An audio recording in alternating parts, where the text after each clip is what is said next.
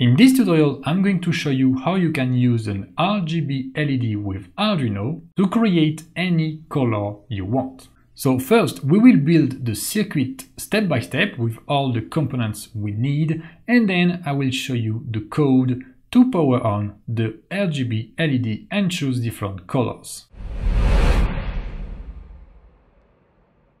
And let's start with the circuit. So here we have the Arduino board. I have an Arduino Uno, but any board will do. Make sure this is, of course, disconnected and powered off. You will need four different wires, okay? At least try to have a black wire and then three other wires. You will need three resistors, okay, with 220 ohm value.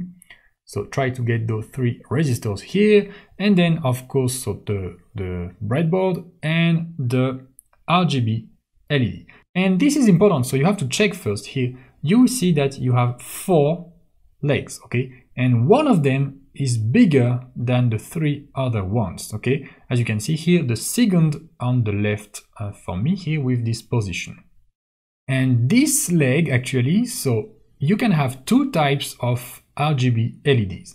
The type which correspond to the cathode, okay, so if this is cathode RGB, this leg is going to be connected to the ground of your Arduino board.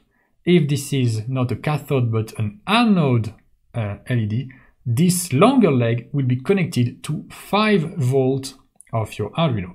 Okay, how to know which is which? Well, you can't tell from the uh, hardware directly. So what you need to find is either you have a manual or a reference or maybe when you bought the uh, RGB LED, if you can find any information in the papers or in the descriptions uh, of the RGB LED.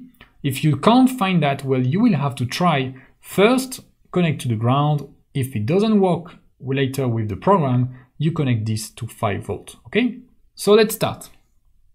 I take my breadboard and I'm going to connect each leg to a different uh, a different hole in the breadboard. So let's make some space, okay, between them. Okay, like this. Make sure it's correctly connected. All right. Okay, each leg is connected to a different line. Very important. The first thing I'm going to do now is to here this second on the left is actually the longer uh, leg. So I'm going to connect that to a ground pin of the Arduino.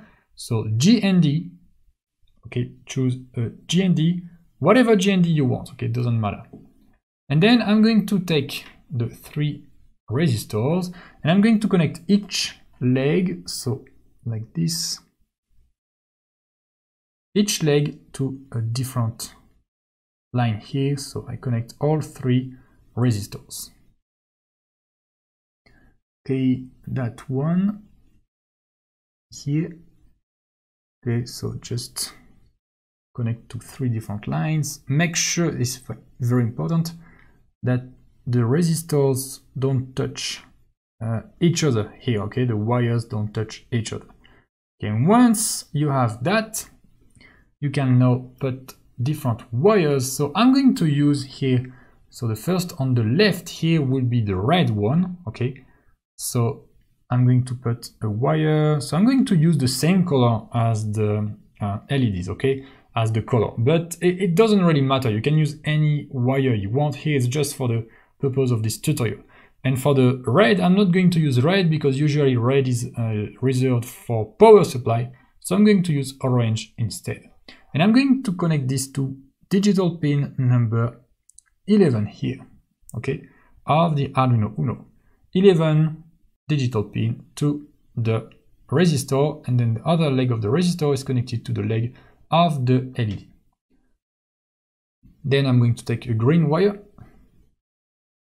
connect the other LED, so connect the other uh, resistor here to digital pin 10 and then a blue wire digital pin 9 okay so basically this is the kind of the same setup as if you had three different LEDs okay? And you will see in the code that's almost the same thing. So for each uh, leg you have one 220 ohm resistor connected to a different uh, line here and then a wire connected to three digital pins.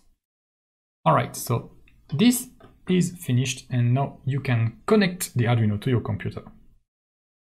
And now back to the Arduino IDE, let's actually write the code to power on the RGB LED and choose which color we want. So the first thing I'm going to do, I'm going to create some define, okay, for the different uh, colors. So basically an RGB LED is just like you are going to control three different LEDs, okay, in the code, that's exactly what you are going to do.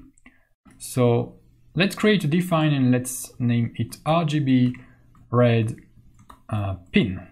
And this was on pin number 11. So just put the pin you have put, of course, uh, on your real circuit. Then define RGB. I have green pin, which was on pin 10 for me, and define RGB um, blue pin on pin number 9. So in the setup, I am going to do pin mode RGB uh, red. Pin to uh, output okay? So I'm going to put the mode for the three pins to output green and blue. All right so that's it for the setup. And now well I just need to write so use digital write okay to power on one LED or just basically to uh, power on one color of the RGB LED that's what I'm going to do here. Digital, let's make a very simple blink uh, example. Digital write, so I'm going to start with the red, with high, and then I'm going to do delay, let's say one second. So I'm using delay here just to make the program uh, very simple. And then digital write RGB green. Pin to high, but if I want, so here, what I'm going to do, I'm just going to power on the red and then green and then blue color, okay, just the three basic colors. So if I do uh, power on the red color here and then the green one, the thing is that I'm also going to need to do digital write, green to low and digital write with the blue. Okay to low and then I will need to also do this here to power off the red.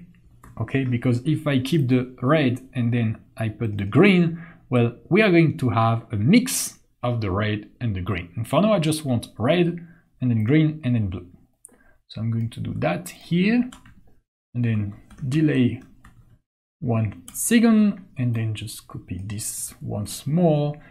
So we power off red, we power off uh, green, we power on the blue uh, color, okay? So just red, just green, and then just uh, blue. Let's not forget the delay here. Okay, so just like we had three LEDs basically. Now I'm going to so make sure this compiled, save it as RGB uh, LED. And so tools, board and port are correct. I'm going to upload now to the Arduino board and let's see what happens. Red, green, blue, red, green, blue, etc. So we have a blink LED with three different colors on just one LED. Great. So now you understand that, well, the way to control the RGB LED is exactly the same as if you control three different LEDs in your code. Okay, so that's really not difficult. I'm going to remove all that now and I'm uh, actually I'm just going to remove that and put this I'm just going to put one color okay so I'm not going to use the void loop I'm just going to initialize uh, the mode for the pins and then just select one color. So I have the red color and I'm going also to put the blue color. And let's see what happens. So red, yes, green, no, blue, yes. I'm going to upload that to the Arduino. And you can see now that the LED is with the color purple. Why is that? Simply because purple is the combination, is the mix between red and blue. Alright, so what you can do, you can try different combinations. So you already have first only red, or only green, or only blue, and then you can try red and green, or red and blue, or green and blue, and finally the three together. So basically you can create seven different colors with digital write. But is that it? Can you just create seven colors? No, actually you can create almost an infinite number of colors and for that you will need to use a different function than digital write, you will need to use analog write. Okay, so with analog write, you can choose the voltage basically uh, for the pin, and you can choose the voltage. So you you will have to provide a number between 0 and 255. So you have 256 different values, which are going then to produce a voltage between 0 and uh, 5 volt here for the Arduino Uno. So basically you have 256 value for red, okay, 256 for green and 256 for blue. So you can create many different colors. And now one important thing is that if you want to use analog write, you need to make sure that the three legs for the uh, LED are connected to pins where the PWM function is enabled. And that's why I have chosen actually the pin number 11, 10 and 9. You can see the tilde here uh, next to the number of the pin. This is because the pin accepts PWM function. Okay, so if you have a different Arduino board, make sure that you find those PWM function if those are available. So now I'm going to change that. I am going to so remove this. I am going to write analog write. So with the red frog first. And I can put a value between 0 and 255. I'm going to put 100. And then analog write with green. Okay, I'm going to put, let's say, 200. And analog write with blue. Here I'm going to put 50. Okay, so this is just one combination you can choose amongst all of the combination between 0 and 255 for each color. I'm going to run that. And well, now I have a quite unique color that I couldn't do with just digital write, okay? I actually don't know the name of that color, but well, that's basically the color with 100 for red, 200 for green and 50 for blue. And now you can experiment on your own and try different values, okay, to see the colors that you can find. You can also just find on the internet, you can just find RGB colors, okay, to find all the colors you want and then find the code you need, so the number you need for green, red and uh, blue here.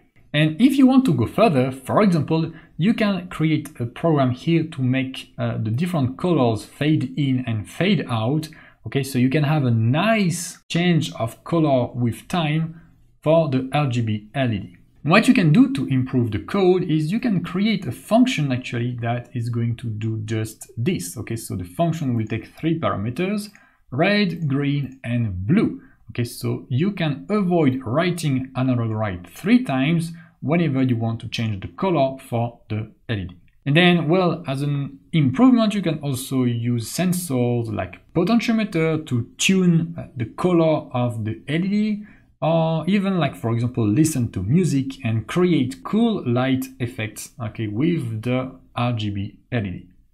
If you liked this video, subscribe to get more tutorials like this in the future. Also, check out my online courses so you can learn Arduino step by step in an efficient way by practicing and directly going to the point. Links in the description. Alright, thank you for watching, see you in the next tutorial or in one of my courses.